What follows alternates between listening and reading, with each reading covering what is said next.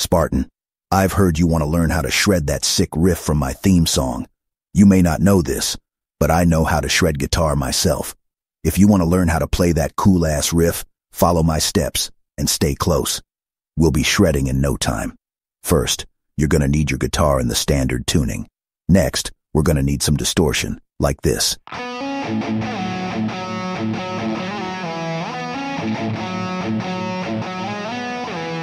Sick. Now the main riff is pretty simple.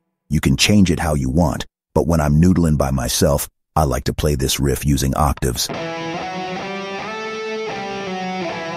Before I teach you those octaves, you're gonna need to know how to do some chuggies. This riff requires a moderate amount of basic chuggies. A chuggy sounds like this. Badass, right?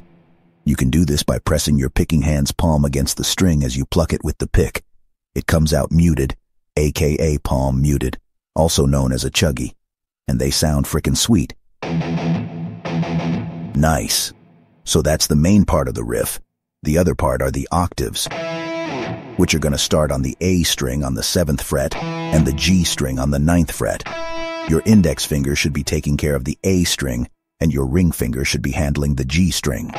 To make it sound good, you need to mute the other strings as you play by laying your middle finger across the other strings so no unwanted noise makes it out. Sick. Now you're going to push that up another two frets on both notes to the ninth fret on the A string and the 11th fret on the G string. Good job. Now up one fret on both strings to the 10th fret on the A string and the 12th fret on the G. Finally, the last notes will be up two more frets. So the 12th fret on the A string and the 14th fret on the G string. Not so bad, is it?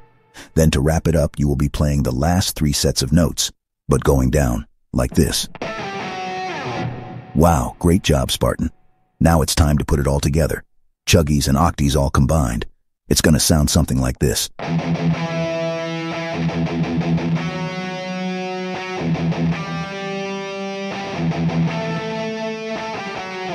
That's about it, soldier. That's how you play that cool-ass riff from my theme song. Now go out there and show the Covenant what you got.